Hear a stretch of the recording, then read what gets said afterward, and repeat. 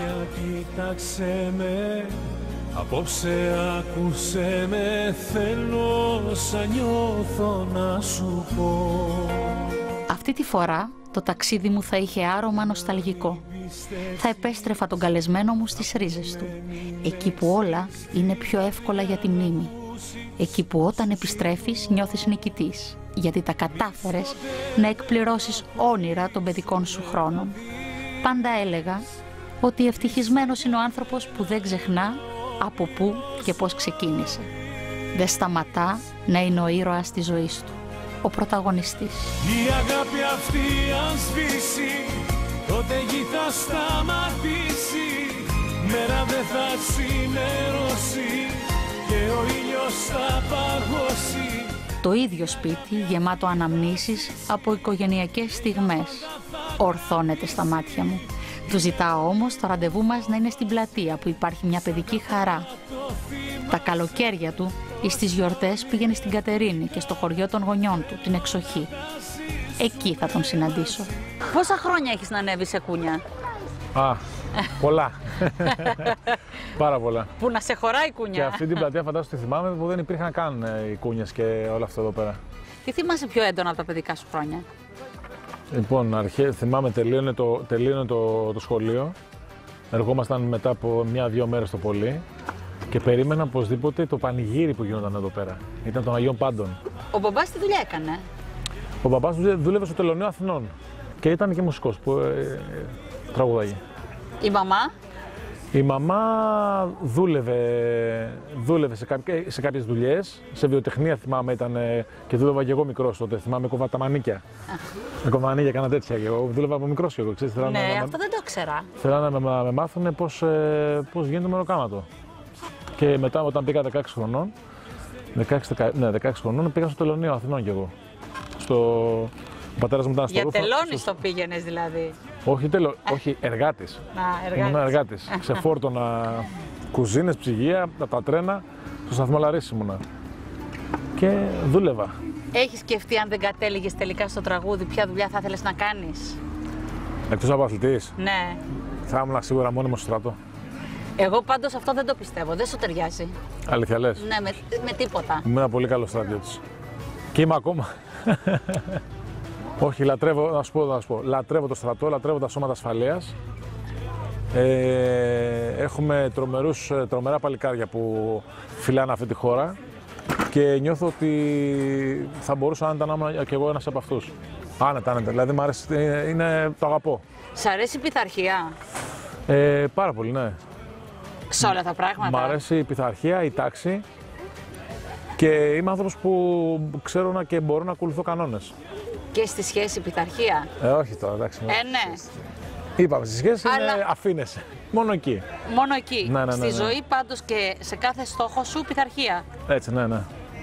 Έτσι έμαθα από μικρός, να ξέρεις. Δηλαδή και, και, σε, και στον αθλητισμό ε, η πειθαρχία ομαδικότητα. Αυτό είναι το. Αυτό, αυτούς τους δύο δρόμους ακολουθείς, βάζεις μετά το ταλέντο σου και το χαρακτήρα σου και πε, πετυχαίνεις. Αυτό νομίζω είναι. Αυτό έχει να κάνει με ένα συγκροτημένο άνθρωπο επαγγελματία, να σου το πω έτσι. Θα πάμε λίγο στην εκκλησία που βαφτίστηκες. Ναι, εννοείται, εννοείται, εννοείται, εδώ δίπλα είναι.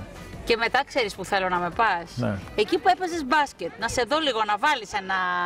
Ένα σου θα το βα- ε, ένα, ένα μπορεί να μπει. Για πάμε παρακαλώ. Πάμε, ναι. Πού βρισκόμαστε Χρήστο; Βρισκόμαστε στην εκκλησία των Αγίων Πάντων, εδώ στη, στην εξοχή. Εδώ βαφτίστηκα. Ενώ γεννήθηκα στην Αθήνα, με, βαφ- με βαφτίσανε εδώ πέρα. Γλέντια εδώ, κακό και τέτοια. Ο μπαμπάς έπαιζε ακορδεόν από τότε; ναι. Από τότε, ναι. Πριν από μένα, πριν ε, και από τις αδερφές μου, από μικρός έπαιζε.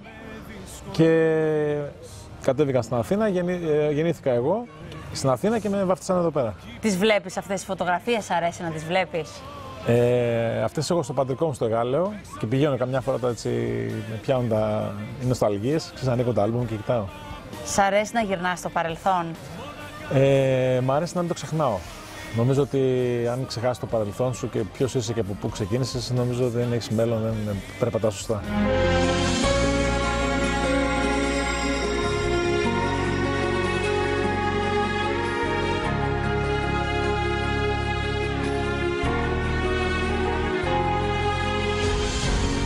Χρήστος Χολίδης γεννήθηκε πριν 37 χρόνια. Μεγάλωσε στο Εγάλεο. Μπασκετμπολίστας από το 1998 με ύψος 1,95. Πού με έβγαλες εδώ; Εδώ είναι το σχολείο, το δημοτικό σχολείο και είναι πια αγωγή εδώ πέρα. Πηγαίνουν τα ξαδέρφια μου εδώ. Και τα καλοκαίρια που ερχόμουν εγώ, ξημεροβραδιαζόμασταν εδώ πέρα. Παίζαμε συνέχεια μπάσκετ. Καλός μαθητής. Α, γενικά. Γενικά δεν διάβαζα, αλλά τα έπαιρνα. Δηλαδή, άκουγα τον καθηγητή με πιο πολύ Τα να παίρνεις ακούω. κρανίο ή Ε, τα όχι. παίρνεις στα γραμματά.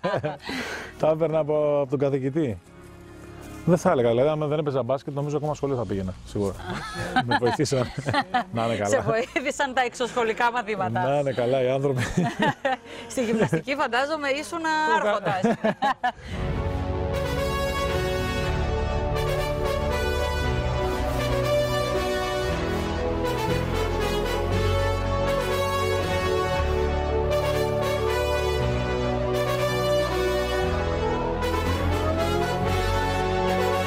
Κάποια στιγμή ασχολείται με το μόντελινγκ για να τον κερδίσει στην πορεία το τραγούδι. Το τελευταίο διάστημα ασχολείται και με το επιχειρήν. Τολμάει τα πάντα και μπαίνει στο παιχνίδι με τσαμπουκά. Μέχρι και στο Just the Two of Us πήρε μέρος με παρτενέρ τη Μαρία Μπεκατόρου και έφτασαν παρέα στη δεύτερη θέση.